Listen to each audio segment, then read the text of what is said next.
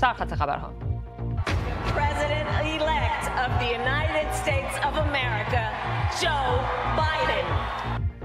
دعوت نامزد دموکرات ها به اتحاد ملی در سخنرانی جشن پیروزی. بایدن می‌گوید رئیس جمهور همه آمریکاست. با شما عهد می کنم که رئیس جمهوری باشم که در پی تفرق افکنی نیست. کسی که کشورمان را نه ایالت های قرمز و آبی بلکه ایالات متحده می بیند. و دونالد ترامپ رئیس جمهوری آمریکا یک روز پس از اعلام پیروزی آقای بایدن همچنان بر مشکل دار بودن انتخابات تاکید دارد. پیام های تبریک رهبران جهان به پیروز انتخابات آمریکا چین، روسیه و عربستان سکوت کردند. ابراز خوشحالی مقام های ایران از شکست انتخاباتی ترامپ روحانی از دولت بعدی آمریکا خواست به تعهدات بین المللی برگردد و تبریک اشرف غنی به جو بایدن. رئیس جمهوری افغانستان می‌گوید مشارکت استراتژیک با آمریکا ادامه می‌یابد.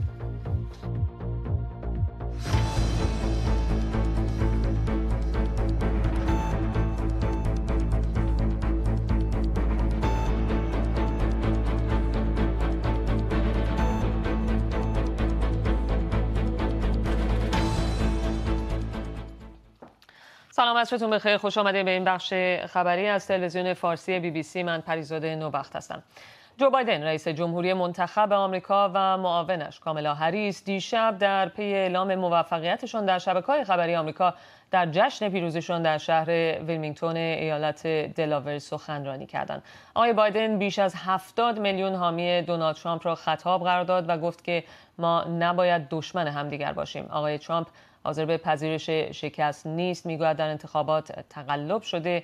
همکارم بهمن کلباسی از محل جشن جو بایدن و کاملا هریس گزارش میده. پایکوبی پایان ترامپ.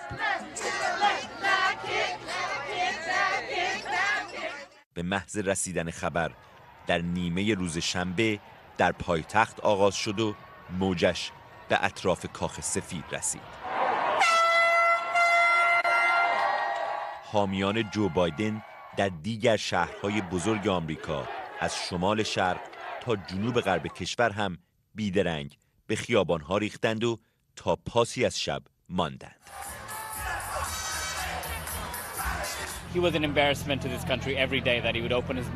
ترامپ هر روز موجب سرفکندگی کشور می‌شد. با حرف ها یا توییت هایی که می‌زد. ادبیاتی که علیه مردمی که متفاوتند هم در خود آمریکا هم خارج به کار می برد واقعا توهین آمیز بود. برای من مهاجر و خیلی دیگه. مشتاقان اینجا در شهر آقای بایدن هم ساعتها در خودروهایشان صف بستند تا از نزدیک به سخنان رئیس جمهوری منتخب گوش کنند انتظاری که گفتند خیلی بیشتر از چهار روز شمارش آرا و چهار ساعت در ماشین نشستن بوده است اخلاق، راستگویی، وقار، احترام همه بعد از چهار سال انتظار کشیدن به دولت برمیگرده.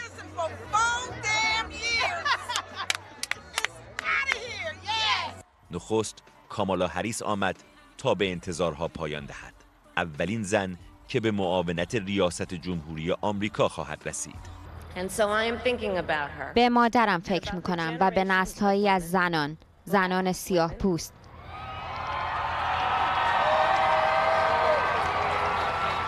آسیایی سفید پوست لاتین زنان بومی آمریکا.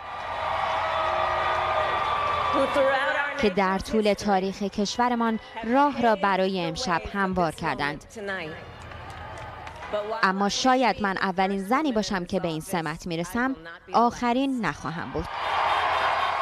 پیش درآمدی بر سخنرانی رئیس جمهوری منتخب که بار دیگر بر پیامش برای اتحاد تأکید کرد. من با این هدف برای رسیدن به این مقام وارد عرصه شدم که روح آمریکا را احیا و طبقه متوسط را بازسازی کنم و تلاش کنم که آمریکا در سطح جهانی دوباره مورد احترام قرار بگیرد. و اینجا داخل کشور هم با هم متحد شویم.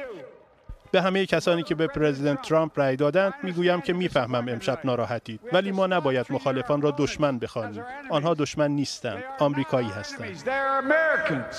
او و معاونش هیچ اشاره‌ای به ادعای پیروزی از سوی آقای ترامپ نکردند. نشانی از تلاش برای درگیر نشدن با رئیس جمهوری که معتقدند صرف نظر از آنچه که می‌گوید 75 روز دیگر وادار خواهد شد جایش را در کاخ سفید به آنها بدهد. جو بایدن و کامالا هریس با شکست دونالد ترامپ و مایک پنس مانع سختی را از پیش راه خودشون برداشتن. در یک قرن اخیر فقط سه رئیس جمهوری آمریکا پس از یک دوره چهار ساله در قدرت در انتخابات دور دوم ناکام ماندند. در پایان شمارش آرا و این شادی ها اما آغاز راهی پر از دست اندازه آقای بایدن برای عملی کردن وعده هاش در برابر کرونا اقتصاد نابسامان سیاست خارجی که می‌خواهد تغییر بدهد تغییرات اقلیمی تبعیض نژادی با انواع موانع از جامعه دو قطبی فضای سیاسی پرتنش و جمهوری خواهانی که در سنا نفوذ بسیاری خواهند داشت. روبرو خواهد شد. بهمن کلباسی بی بی سی در شهر شاد آقای بایدن در ایالت دلوور همونطور که در گزارش بهمن هم شنیدید در 20 ژانویه 2021 یعنی حدود دو ماه دیگه جو بایدن به عنوان 46 امین رئیس جمهوری آمریکا سوگند می‌خوره. انتظار میره که مسلما سیاست های دولت او تفاوت های اساسی داشته باشن با سیاست های رئیس جمهوری فعلی آمریکا دونالد ترامپ. موارد کلیدی که بهش اشاره میشه و انتظار میره که آقای بایدن از لحظاتی که کاخ سفید رو در دست بگیره به اونها رسیده کنه. مسائل تغییرات اقلیمی مسائل آب و هوایی هست. می‌دونیم که به سازمان ملل متحد گفته که آمریکا که می‌دونیم در دوران دونالد ترامپ از توافق اقلیمی پاریس خارج شد. آقای بایدن گفته که به این توافق برمیگرده.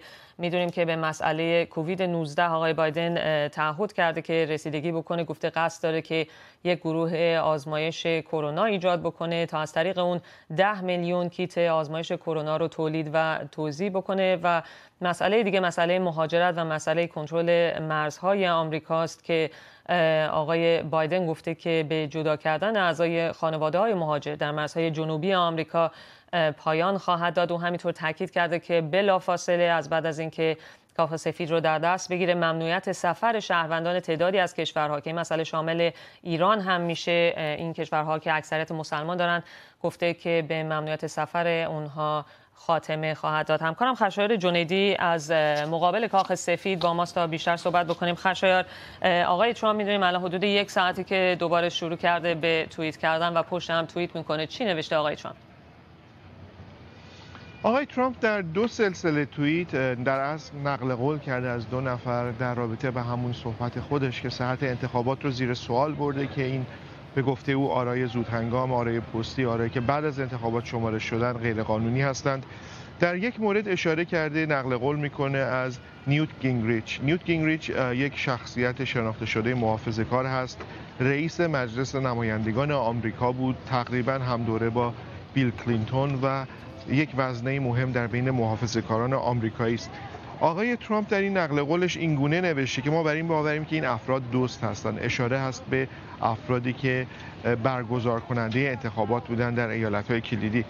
که ساز و کار در شهرهای بزرگ فاسد هست یک انتخاباتی است که نتیجه اون دزدیده شده. بهترین کارشناس رأیگیری در بریتانیا گفته که به طور مشخص این انتخابات انتخاباتی است که درش تقلب شده و غیر ممکن بود که بشه تصور کرد بایدن بتونه آرایی که کسب می‌کنه از آرای اوباما در بعضی از این ایالت ها بیشتر باشه. و ادامه میده به نقل از نیوت گینگریچ که در جایی که مهم بوده اونها آرا رو دزدیدن. قبل از اون هم آقای ترامپ یک سلسله توییت منتشر کرد. این بار به نقل از جاناتان ترلی یک استاد شناخته شده و معتبر در زمینه در زمینه قانون اساسی و حقوق در آمریکاست. دانشگاه جورج واشنگتن درس میده. فردی است که بسیار شناخته شده است که او گفته باید همه آرا رو در نظر بگیریم. تازه مرحله شمارش آغاز شده. باید به اتهاماتی که مطرح شده پرداخت پرداخته بشه. و بعد این اتهام رو به نقل از آقای ترلی آقای اوباما آقای ترامپ عضو می‌خوام. داره تکرار می‌کنه که مشکل اینجا بوده که بیشتر از 100 میلیون رای به صورت پستی از شهرهایی مانند فیلادلفیا و دیترویت که سابقه طولانی در تخلف انتخاباتی دارند دریافت شده. بنابراین به نظر نمی‌رسه. تقریبا 24 ساعت بعد از اینکه پیروزی آقای بایدن اعلام شد آقای ترامپ کماکان خواسته باشه که به نحوی صحت بگذاره بر این پیروزی و کماکان بر صحبتهای خودش که بخشی از آرای شمرده شده غیرقانونی هستن و اینها باید کسر بشن از نتیجه انتخابات داره ادامه میده. تماسی نشیدیم بین آقای بایدن و آقای ترامپ برقرار شده باشه برخلاف مرسوم و رویه همیشگی آمریکا.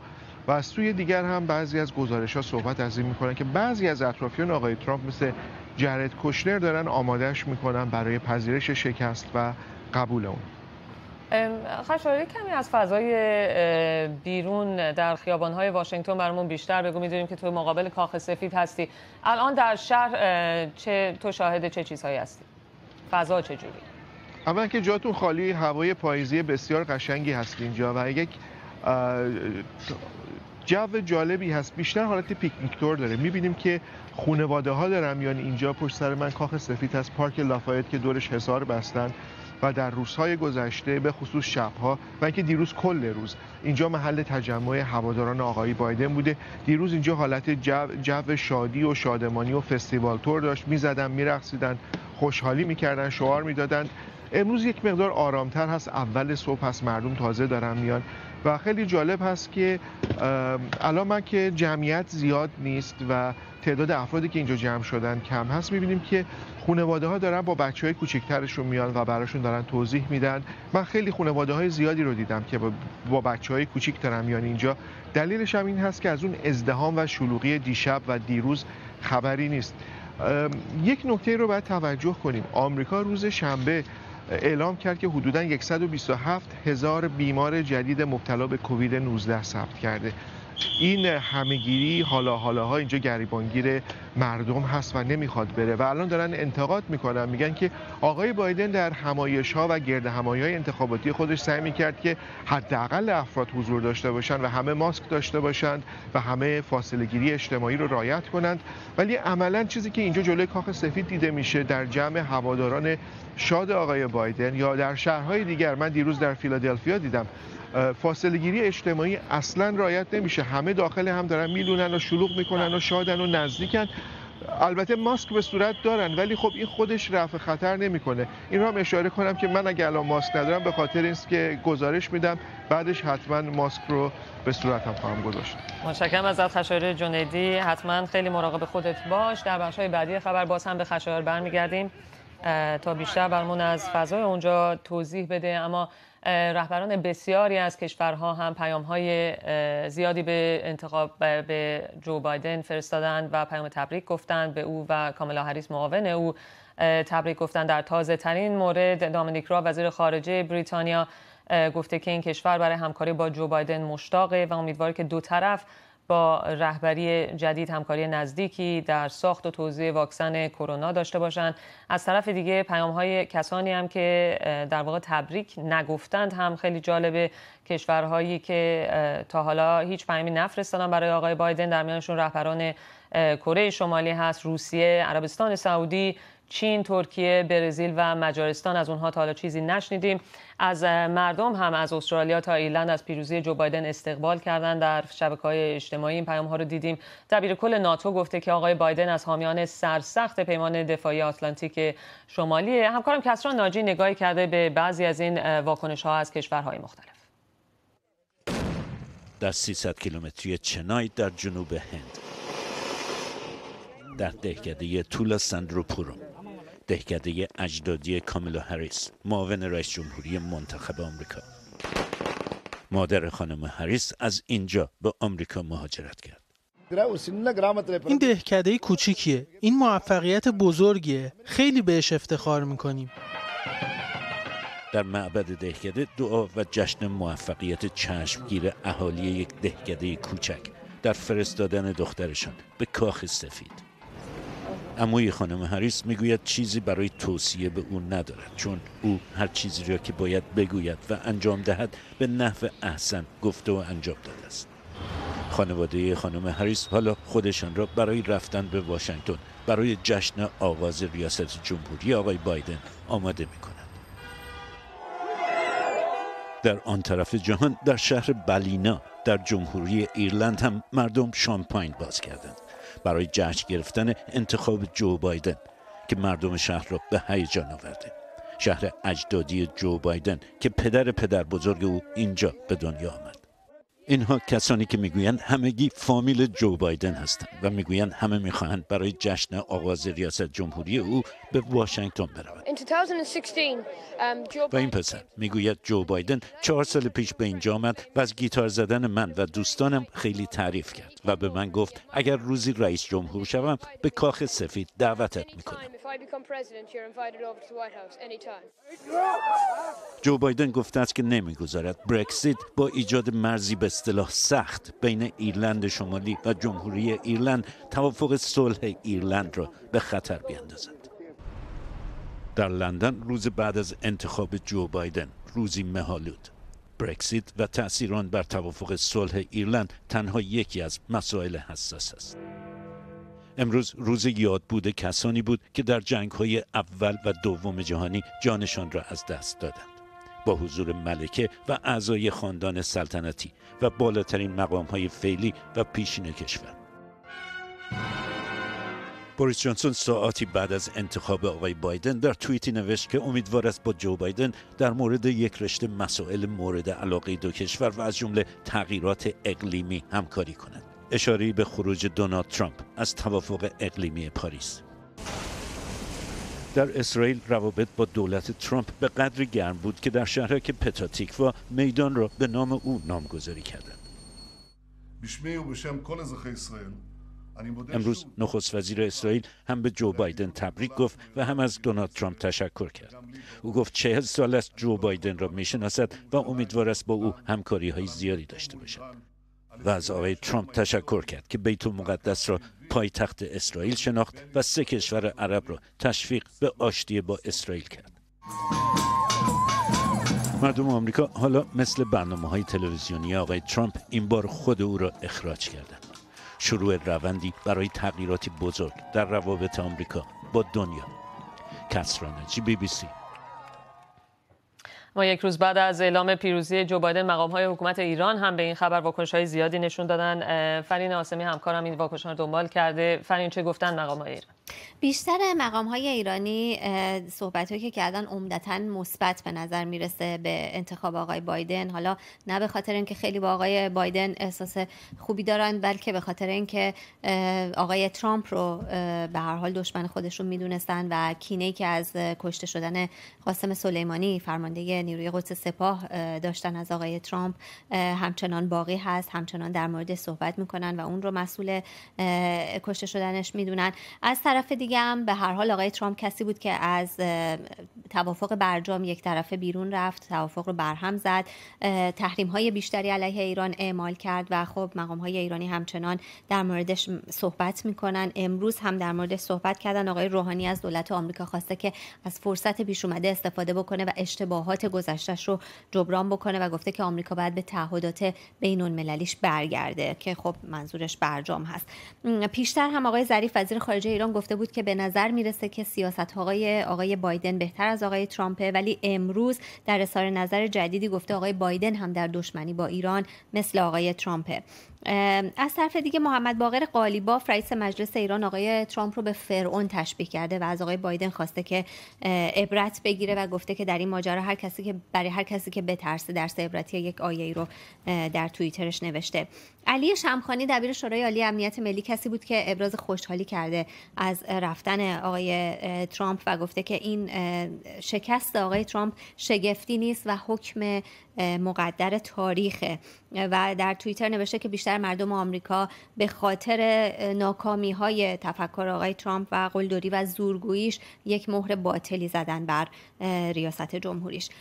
در مورد تغییر هم خیلی صحبت شده. بیشتر مقام های جمهوری اسلامی امیدوارن که یه تغییر صورت بگیره و این فشار حداکثری که دو سال و نیم آمریکا داره بر ایران وارد می‌کنه به این وسیله پایان بیابه. خب و می‌دونیم که آمریکا با هدف تغییر رفتار ایران و برای اونچه که عادی شدن رفتار ایران در منطقه و در سطح جهان نامیده بود این فشارها رو بر ایران گذاشته. و به هر حال خب یه مقداری امیدوار هستن که مقام های ایرانی این اتفاق بیفته. جو بایدن در طول مبارزات انتخاباتیش یک مطلبی رو در وبسایت CNN در وبسایت CNN نوشته بود و گفته بود که فشار حداکثری که سیاستش رو آقای ترامپ پایه گذاری کرده بود به ضرر آمریکا تموم شده به نفع ایران بوده و خب یه مقداری مخالفت خودش رو با اون مسئله اعلام کرده بود. می‌دونیم که بیشتر از چهل ساله که ایران و آمریکا رابطه دیپلماتیک ندارن رابطهشون همیشه با کنایه بوده با تهدید بوده و مستقیم نبوده. به هر حال یک سیگنال هایی داده شده. بعضی اوقات گفته مثلا تلفنی بود که آقای اوباما با آقای روحانی داشت. آقای ترامپ بارها خواست که با ایران مذاکره بکنه ولی خب به هر حال آیت الله خامنه ای گفته که مذاکره نمی‌کنه جنگ نمیشه و حتی گفته که خواستار برداشته شدن تحریم ها هم هست. به همین دلیل به نظر می‌رسه که یه مقداری بعدشون نمیاد که حالا آمریکا به برجام برگرده الان. از طرف دیگه اصولگراها رو داریم در داخل ایران. اصولگراها یه مقداری از آقای ترامپ حمایت کردن بعضیاشون و الان نگرانی در بینشون زیاد دیده میشه. حملاتشون رو با آقای ظریف وزیر خارجه شروع کردن. از ترس اینکه حالا ممکنه که یک مذاکره در آینده نزدیک با آقای بایدن و دولت آمریکا انجام بشه. دارن یک حملاتی رو با آقای ظریف انجام میدن. توی این واکنش ها چه اشاره مشخصی شده به برجام یا تحریم ها یا همین افزایش فشار حداکثری آمریکا که علیه ایران بوده؟ اشاره که بوده سعید خطیبزاده سخنگوی وزارت خارجه امروز گفته که یک لیستی از موارد پاسخگویی رئیس جمهور جدید آمریکا به تعهدات ایران آماده شده به تعهداتی که به ایران داشته آماده شده که آمریکا باید پاسخگو باشه. آقای بایدن گفته که باید جبران مافات بکنه. آقای خطیبزاده خواستار توبه آمریکا و توقف جنگ اقتصادی علیه ایران شده و با این حال گفته که تفاوت آشکاری بین آقای بایدن و آقای ترامپ وجود داره و میز مذاکره برجام پا برجاست و برای همه هم جا هست خب این می‌تونه یک نشانه ای باشه از اینکه ایران خواستار اینه که آمریکا به برجام برگرده. از طرف دیگه محسن رضایی دبیر مجمع تشخیص مسئله نظام هم از دولت آمریکا خواسته از ایران عذرخواهی بکنه و خواستار این شده که خسارت های اقتصادی ناشی از تحریم ها رو به ایران بپردازه و خب این به نظر نمی‌رسه که انجام بشه توسط آمریکا ولی خب خواسته که فعلا مطرح شده توسط متشکرم متشکرم. از تو فرین آسمی همکارم در برنامه های بعدی باز هم به فرین برمیگردیم. اما بریم سراغ افغانستان. محمد اشرف غنی رئیس جمهوری افغانستان و بعضی از مقام ها و سیاسیون افغان هم پیروزی جو بایدن در انتخابات آمریکا رو تبریک گفتند. آقای غنی در توییتی گفته که مشارکت استراتژیک افغانستان با آمریکا ادامه خواهد یافت. محمد نعیم سخنگوی دفتر سیاسی طالبان در قطر هم پیروزی جو بایدن رو موضوع داخلی آمریکا خوانده. اظهار امیدواری اما کماکان کرده که پیامد پیروزی جو بایدن برای ختم مشکلات افغانستان تاثیر مثبتی داشته باشه. همکارم روین رهنوش در کابل گزارشی در همین رابطه تهیه کرده که با هم می‌بینیم. افغانستان آماده ادامه مشارکت چند جانبه با آمریکا از جمله مبارزه با تروریسم و آوردن صلح. بخشی از پیام توییتری محمد اشرف غنی به مناسبت پیروزی جو بایدن. اتفاقی که به نظر می رسد بر وفق مراد دولت افغانستان است شماره از مقام ها و سیاسیون افغان حضور جو بایدن را در رأس دولت آمریکا فال نیک می دانند. حامد کرزی رئیس جمهوری پیشین گفته آقای بایدن به دنبال اتحاد و بهبودی بود و افغانستان به آن نیاز عمیقتر دارد. عبدالله عبدالله رئیس شورای عالی مصالحه ملی حضور مردم در انتخابات آمریکا را تاریخی خوانده. حتی محمد نور عضو رهبری جمعیت اسلامی گفته دولت جدید آمریکا از تسریع روند صلح حمایت کند. هرچند هنوز واضح نیست جو بایدن برای افغانستان چه برنامه هایی دارد. برخی باور دارند در جزئیات مناسبات دو طرف تغییرات رونما خواهد شد.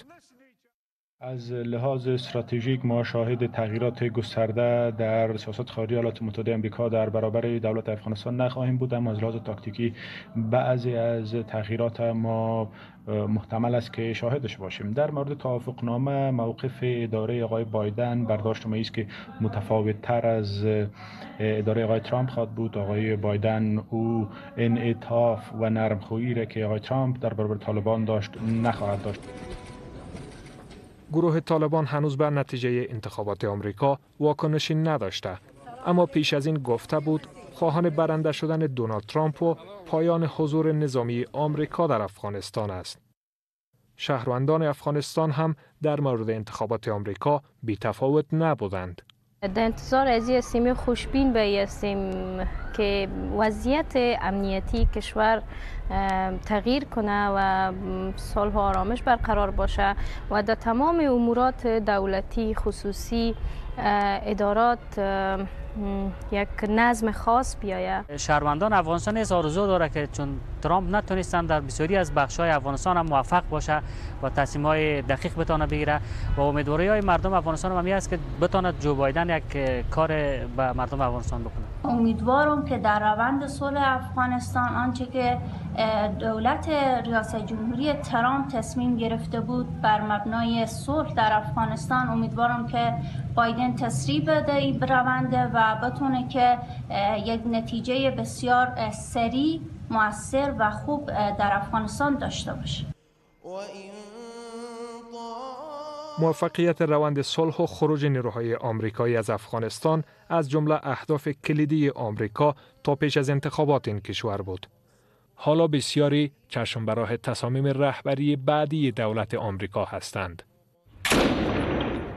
انتخابات آمریکا همزمان با افزایش چند برابری درگیری ها در افغانستان است.